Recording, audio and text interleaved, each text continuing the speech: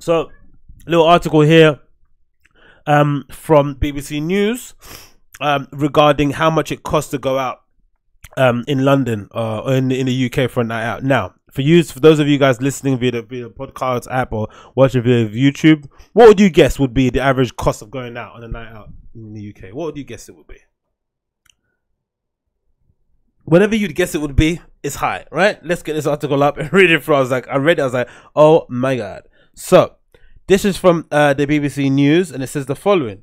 Um, the headline is People spend £69 on average on a UK night out, says report. Um, UK consumers are spending close to £69 on a night out on average, according to a report. Spending in January to March was up to 15.9% and £59. Um, the quarterly index is published by Deltic. Deltic boss Peter Marks said, given the pressures on UK retailing, it was fantastic and perhaps surprising to see many Britons feel positively about local leisure offerings. Spending on food was up uh 11 11.7% at 60, 16 pound 20 spending on drinks is up 10 10.3% and spending on transport is up to 32% revelers are also going out more and staying out for longer compared to 12 months ago which is surprising to me. I don't I, i've not really seen that on my nights out. Djing or just going out and stuff but i guess this report is what it says. Some 60% of people of consumers are said to have are said to be going out at least once a week and the average night out now lasts for for uh, four hours, 35 minutes. More than half of the respondents also expressed positive statements about their local town, city. But again, I say that four hours, 35 minutes is probably based on bar time, right? Not like clubbing. Which is, I guess, that that includes all of that. I, I don't know what I'm talking about. I guess, right? I guess that's what it means. Um, pressures, but there is still demand for better transport, more leisure and casual um, dining options. Come on, they, they want more dining options, bruv. You can't, you can't throw a rock in most UK cities and not find a fucking galley of restaurants. This is surprising given the ongoing news of casual dining outlet closures across the UK due to cost of macroeconomic pressures, including Brexit, business rates, and high rents. Bro, there's restaurants opening all the time, actually every other day. Um, people people spend fifteen percent more than that. Ah. So it was down in, but that makes more sense though, innit? Think about it, no? This this list here these months are usually quite low because people are i guess so from october to august makes sense because people are usually going to festivals and shit. So not maybe going out in town saving money. November of course is maybe a dead month because people it's cold and people with their families. Um i don't know maybe the weather's improving? I have no idea. Uh personal face-to-face um, recommendations are the most important factor when choosing a night out. 50 55% using it as decision making process. Uh, this is followed by facebook uh recommendations, the Deltic Night Out Index. According to the latest available data from Office National Statistics, just over 3 million people were, were employed in the UK's nighttime economy, up to almost 50%.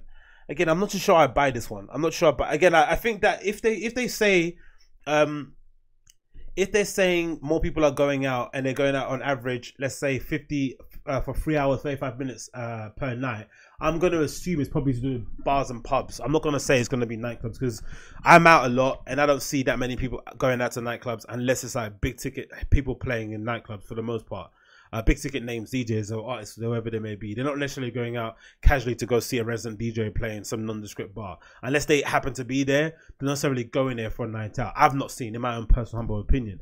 Now, I would say that the casual bar attendance, the kind of thing that you do after work on a Wednesday to a Thursday, uh, Wednesday to Friday, has has gone up a lot. I've seen a lot more people out and about. Um, in bars and stuff after work and probably spending more um on average on those nights out and then kind of fobbing off going to a night out. Because if you think about it like I'm gonna go see Nina Kraviz play this Friday right at the Walthamstow Assembly and that's like what 25 or let's say it's 30 quid to go ticket. By the time I spend on my drinks and all my other stuff I'm probably looking at about 100 quid right spending cost in terms of the Uber back home in terms of maybe some food on the way back home and drinks I'm saying, you know, roughly spending hundred pound, but it might be more. Um, if you're a regular schmegular Joe and you, you know, you, you you do like electronic music, don't get me wrong, but you get your kicks from going out and meeting your friends instead of how I do. I, I like going out into the dark abyss and dancing my head, you know, until my head comes off my shoulders. But if you don't, if, if you're not that bothered about going to see Nina Kraviz and you just want to see a play on YouTube or something, watch a boiler room set and just jam with your friends at home, have some drinks, you could easily do that in a bar and kind of take that hundred quid and probably divide that over three nights, right? You could probably spend thirty quid, forty quid a night in a bar or pub and have just as bad as a good a good of time, and you have to pay an entry fee. Um, I'm seeing a lot of that happening lately, and of course, some some of it might have to do with ages and stuff, and people getting older. But I'm seeing a lot of younger people, especially when I go to Wetherspoon, especially if I go to like a, a pub around the corner that I go to here recently that shows a lot of football. I'm seeing a lot more people hang around in like more stodgy, old kind of you know um, pubs and bars just because it's cheaper overall than going to a nightclub. Now they could probably still go to a nightclub after, right? You could, you could still go to a, a cheap bar, um, drink four pint and then maybe head off to a nightclub. But it's unlikely that you'd do that, right? You, it's unlikely that you'd go from the middle of Homerton all the way down to uh, Brixton to go to flipping, I don't know, um, Phonox or something and go and rave. It's not likely someone would do that. But I like um I like this change. I like the change. I think in general, what it means is that people are maybe having better drinking um, behaviors when they're going out. Maybe for the most part, because I know for for me when I used to go out um, a lot, especially to nightclubs and stuff, the one thing that used to always bum me out was the level of aggression, the level of just messiness happening in nightclubs because people were just getting absolutely slaughtered, right? They weren't really necessarily enjoying the night out, they weren't enjoying the ambience or the DJs or the atmosphere they were in. They're just in there to get fucking hammered. And it kind of ruined the clubbing experience. But I think nowadays, even though clubs are not as full as they once were, unless again, unless like the top 20, so the top 10 to 20 DJs are playing, um, they're not as busy as they once were. I think the people that are in there are there for the best intentions. They're there because they love underground electronic music. They're there because they love the culture, they love the DJ, they love the label. They want to support this, support the promoter, support the club. Um, you're not necessarily getting the casual kind of fly by night people just hanging out because they just want to, you know, um, have something to post on Instagram. For the most part, they are going to nice bars and pubs around the area. And again, these dining options too.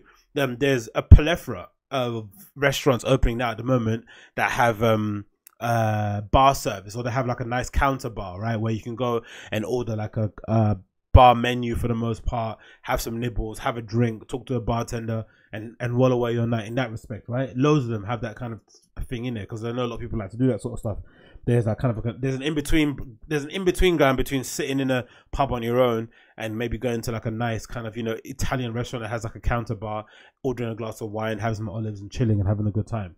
Um, again, um, I think there needs to be more investment maybe put into night into nightlife economy in terms of when it comes to clubs and stuff and allowing them allowing clubs to kind of um, operate in this environment because I think with all this money flying around people being able to spend a little bit more with the maybe the average income rising little by little because people are not maybe spending as much as they would do on material items and shit. I think clubs need to kind of profit off that too. And I'd like to see some parity being equated back to nightclubs and not just see it all kind of go into bars and pubs and restaurants because they're easy to deal with. I want to see clubs as well have the opportunity to kind of get some of that dollar because I think for the most part, if we have options, like for instance, like there is no alibi anymore, right? There's no like version of alibi that exists, right?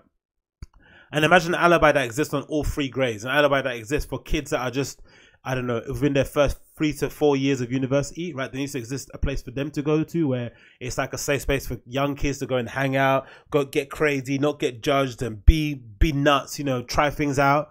There needs to be a club. There needs to be a, an alibi type club for um people maybe my age, right? Um, let's say from let's say 25 to 35, and it needs to be an alibi for people maybe a little bit older than that, 35 to 45, right? That might just be a pub for the most part, but there needs to be an alibi for each of those kind of ages, a place that you can go to, like a fucking dive bar that's really cool. You can just hang out and just have a good time and chill out until the um, wee hours of the night. But it doesn't exist, unfortunately. It's just you know this nonsense that we have now at the moment, which is again, which is annoying. But I think by and large, over the years, things are starting to improve, and I think we're going to see a little bit more of an improvement the the more the years progress, especially with the advent of festivals coming in every other day. Hopefully, anyway, I'm hoping that kind of happens.